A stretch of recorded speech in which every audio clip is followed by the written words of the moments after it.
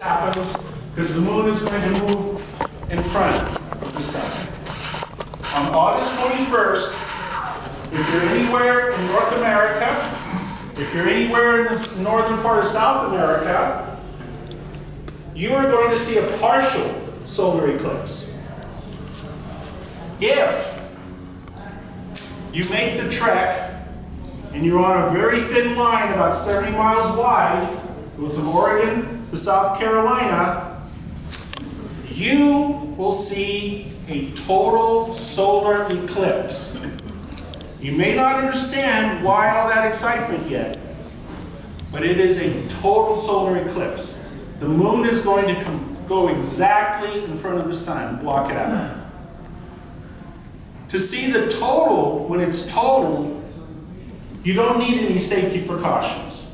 It'll be about as bright as the quarter moon.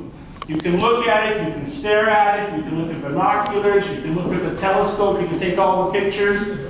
How do I take a picture of a total solar eclipse and make it good? Just snap, snap your camera. I've never seen a bad total solar eclipse photo. Wide angle, narrow angle, and so forth.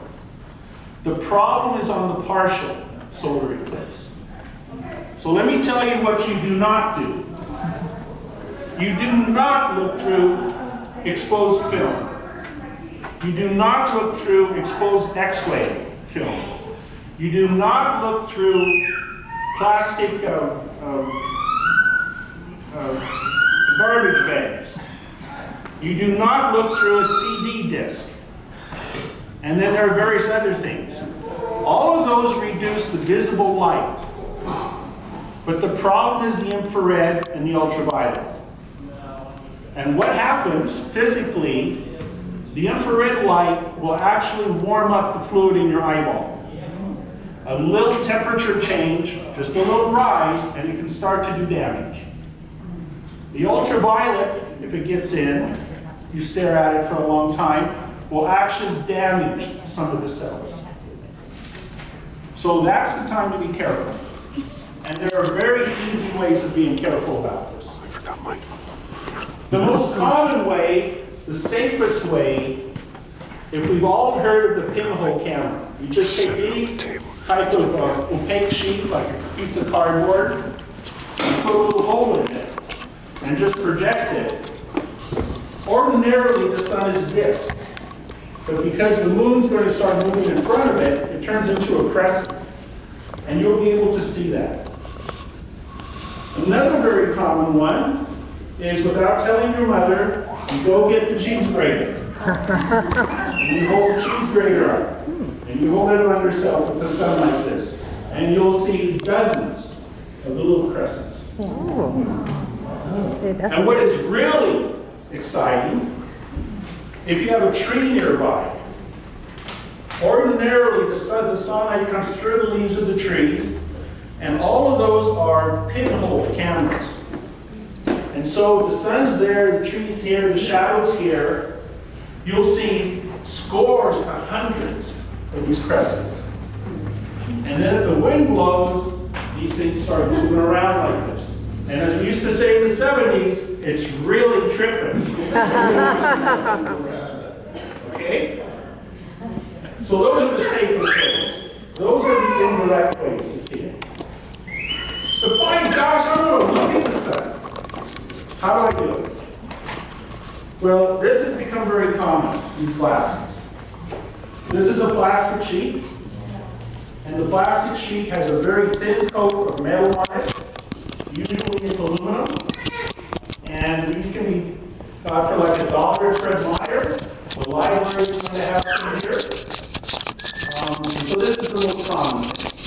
The only thing to be aware of you don't, even with these, you don't want to just sit here and stare at the sun continuously.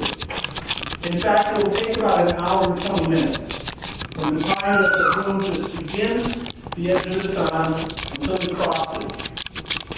So if you just stare at it, there really isn't much happening. So just look up at it for uh, 35 to 10 minutes, and you'll see it creeping across.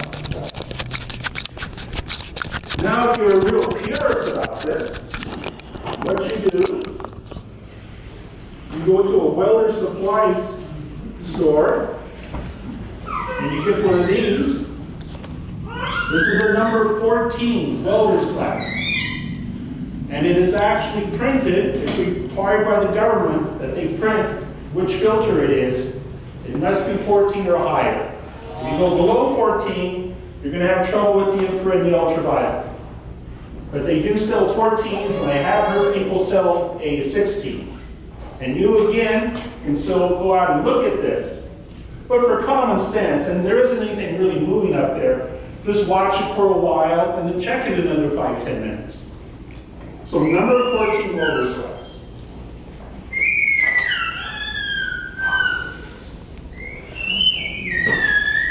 So is there any basic questions about safety here? How does it cost? Pardon? If I just wear the sun guard, can, can it Sure. It works. And again, I, I would recommend you don't just sit there and look at the sun all the time. Glance up at it. There, as I will, will mention in the next part of this, there's all kinds of exciting things going on around you, especially if you're, if you're in the path of totality, which you don't want to miss. I think you need to There have been people who have kept these on toward very totality, and they, they don't see anything at that point, because it's just dark. And there are people, and there's good reason to do this.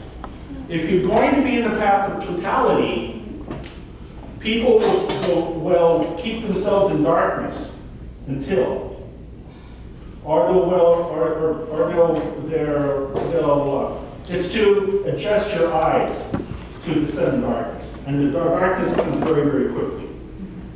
But before I move on to talk about what's all the fuss about, anybody have any doubts about how to see this?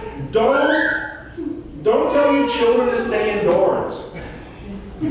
Let them go out and see this thing, okay? Yes? So if you're gonna be in the path of to- total totality. Right. You're at ten thousand feet, you can still look directly at it. Yes. Doesn't, it doesn't matter. If you were in space, you'd be okay to look at it. Right. That's, do you plan to be at 10,000? Actually, I do. I'm gonna be in, in, uh, wilderness in Wyoming. Well, I'm envious. Yeah, it's gonna be awesome. And you, you, uh, you might see something that very few people in history have ever seen, and that's the shadow approach. I'll try to remember to get back to why, why that is so unusual. And there was another question? My husband bought welder Right. girls, and he was like, You have to see what number. They will all have numbers on them. In fact, back here, there's a little thing about the government. This is rated by the government. And it's rated, it has a T14H on it. If it doesn't have that, I wouldn't use it. Because it's been tested. Where are those available? They were, I bought these at a welder supply store. I actually bought this in Denver. And I bought everything that he had. He had, he had six, so I bought more. Was there, yes? Hi, Joe. I'm so glad you're here today. I'm sorry I came in a little late. I'm Mark Seibold with the Rose City Astronomers. They're asking me to go up and speak in the Central Oregon State Parks uh, in a few more days for about a week before the event. I, I did this in 1979. It was very easy. Uh, there's no trick, as everybody knows. All you needed was an old-fashioned camera, uh, a 35 millimeter with film in it. As John was saying, you can't take a bad eclipse photo. It's true. I would, I would hearken to maybe talk about uh, damaging cameras. I'm not worried about my eyes. I don't wear sunglasses. Usually I broke my glasses when I'm wearing my sunglasses. But uh, uh, I guess people are worried about damaging their light sensors in their cameras today. In film days, we didn't worry about that. But now that the new digital cameras can be damaged these days, you start filming very early, an hour before, with a mostly exposed sun, as you were saying. You could probably burn your light sensor in your camera out after about 10 minutes, I suppose. Well, that's right. I mean, it's, it's the same as today when you went out and did it. Right. You have to remember, even when there's just a little ray of sunlight coming, it is still blindingly bright. And a friend gave me some infrared, uh, actual film that photographers use in studios, just big clear plastic, it's called infrared filtration.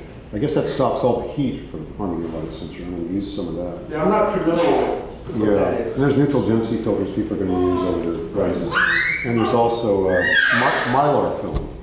Right. Mylar blocks out most of the UV, I guess, doesn't it? That's right, we'll do both the infrared and the UV. What they call the white light filters for- Right. on telescopes, that just show. And then that's what's of used in glasses. Yeah, I've- I've actually- used on scopes. Yeah, I've actually looked through an H alpha filter for over ten thousand hours with the public. I did across the nation. Uh, Thousands of people look through it. You've seen H alphas, I'm sure. You to look at the sun. I'm trying to encourage people, if they go somewhere where there's astronomers, try to get near an H alpha filter and, and ask to look through it. They're gonna beg you to pull you over and have you look through it because it'll show you the sun like a big, big, huge lava ball active. It's beautiful before, but anyway. Hey, I was just gonna ask you if you had any recommendations about the, what I mentioned, the infrared. No, I guess it, I don't know enough about it. I guess it deflects all the heat away from whatever it's shielding, it allows the visible to come through. So, Well, thanks for being here, it's just great to, you're passionate about this, like a lot of us, are trying to get people to go out and look. People in Portland are saying, we're just gonna stay in Portland and watch ninety-nine percent, that's just the same thing, Is- isn't ninety-nine percent good enough? I said, no, it's not. It's- Gotta be hundred. Yes. People's questions. Oh, sorry. Repeat people's questions because there's a lot of. Oh, okay, so I want us to, to repeat the question. Repeat the question. Oh, sorry. Oh, just about the camera, camera filters being damaged more so than our eyes. I, as an astronomer, I'm not gonna wear any protection, we don't do that. We're just worried about the public doing that, because they'll stare, they're still staring when they know it's not right to do it. They don't know it's not right. They don't know, because they've never done any observations like astronomers have, so they don't know when to look. But the biggest, like John was saying, the biggest fear we have as astronomers is people wear these eclipse glasses, they'll forget to take them off and look at the beautiful corona. They'll never see it with the eclipse glasses on. They'll miss it. They'll miss the biggest part of the whole eclipse, as you hmm. said.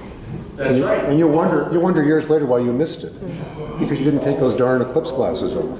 Yes. So there's an over concern about this safety thing. When you asked about the glasses, were you talking about regular sunglasses or just are as okay as the glasses you're talking about? Okay, the question is about the glasses, the s- sunglasses, some of them say UV protection. And then, then there's the Mylar. This is what you want, in my Mylar. You look through it now and it's all black. But if you went outside today and you looked up at the sun, you would see a disc up there. So you you say I, I can buy that from, uh, Medline? Yeah, Fred Meyer has it for like a dollar.